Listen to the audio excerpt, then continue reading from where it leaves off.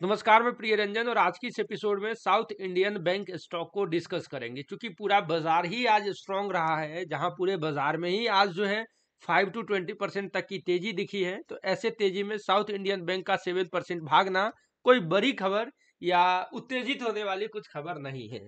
आगे के ट्रेंड और न्यूज़ को समझे, इससे पहले ट्वेल्थ अप्रैल को याद रखेंगे, क्योंकि इसी दिन जो राइट इशू के थ्रू कंपनी ने फंड रेज करे 1150 करोड़ का 53 करोड़ शेयर कंपनी ने इशू करे हैं, वो लिस्ट होते दिखेंगे। और इस लिस्टिंग के बाद हो सकता है कि एक डाउनफॉल दिखे। ये मैं हर वीडियो में आपको रिमाइंड कर रहा हूँ। यहाँ देखें इस स्टॉक के हिस्टोरिकल डाटा को। मंथली हिस्टोरिकल डाटा को फ़िल्टर आउट करें तो आज का जो वॉल्यूम है, वो रिसेंट के वॉल्यूम के आसपास का ही है। ऐसा नहीं है कि रिसेंट का वॉल्यूम जो है दो से तीन करोड़ का दिख रहा है और आज का वॉल्यूम दस करोड़ हो गया। ये एवरेज वॉल्यूम के आसपास का ही वॉल्यूम दिख रहा है। इसके अलावे बॉन्ड्स के पेमेंट को लेकर के कंपनी ने एक सर्कुलर जारी करा कि जो हमारा बॉन्ड्स के पेमेंट के डेट है हम लोग अरेंजमेंट कर रहे हैं make payment in accordance with the timeline जैसे एक कॉमन न्यूज़ दिखा है। इसके अलावे न्यूज़ कुछ भी बड़ी नहीं है। डिलीवरी देखें तो बेटर दिख रहा है। ट्रेंड देखें तो ट्रेंड जो है, वो थोड़ा बहुत एक रिट्रेसमेंट अपर साइड में, यानी स्ट्रॉन्ग ट्रेंड दिख रहा है।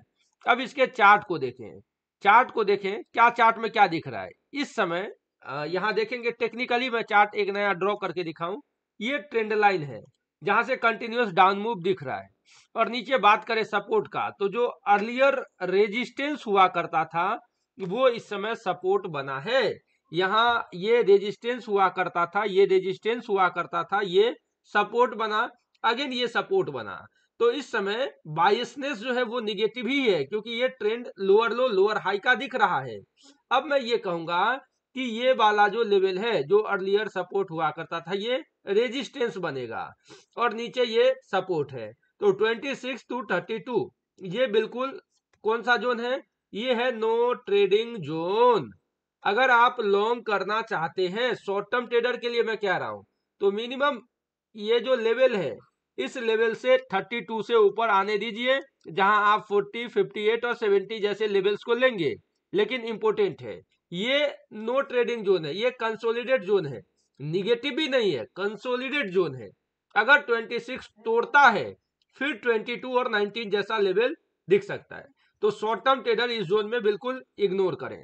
अगर आप लॉन्ग टर्म इन्वेस्टर हैं तो बने रहें short term ups and down को इग्नोर करें और अगर ये स्टॉक अपॉर्चुनिटी 24, 26 में मिले तो ये अपॉर्चुनिटी अगेन ग्रैब करेंगे और लास्ट अपॉर्चुनिटी 2021 के लेवल का भी वेट करेंगे। वहाँ वन टाइम इन्वेस्टमेंट भी किया जा सकता है।